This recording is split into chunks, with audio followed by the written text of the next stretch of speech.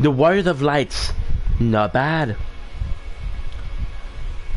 The technically known as Chaos, did not exist in this world originally, and truth can only manifest when a number constraints are met.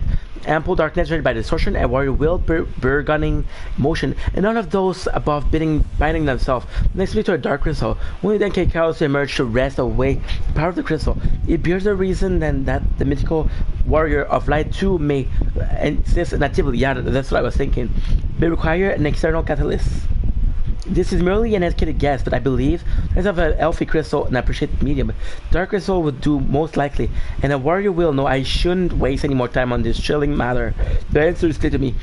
After all, the only hero capable of freeing Cornelia from Lufenia will biograph are Jack, Sophia, Neon, Ash, and Jed. That I have no doubt. That's kind of cool. I, I really enjoy that.